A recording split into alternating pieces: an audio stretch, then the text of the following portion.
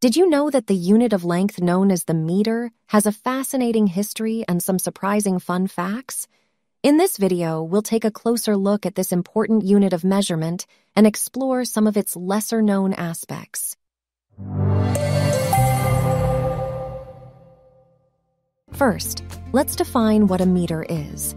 The meter is the base unit of length in the International System of Units, or SI, which is used by scientists and engineers around the world.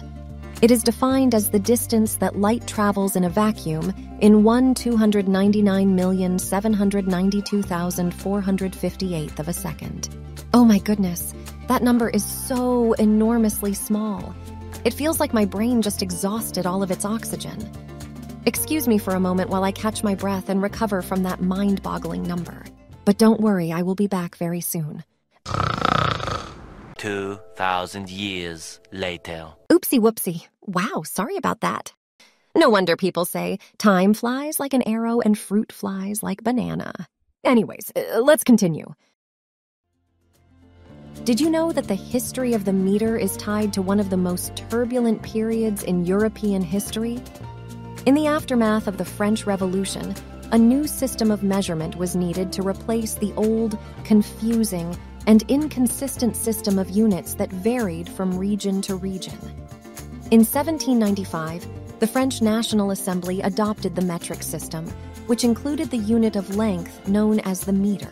The name meter was invented by the French Academy of Sciences, which commissioned a group of scientists to create a universal system of measurement.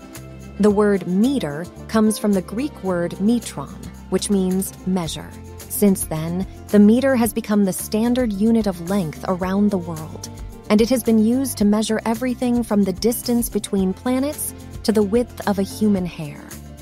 But there are also some fun facts about the meter that you might not know.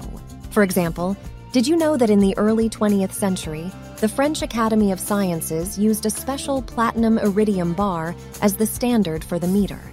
The bar was kept in a vault in Paris, and copies were distributed to other countries. The bar was even used to settle international disputes over measurements of the meter.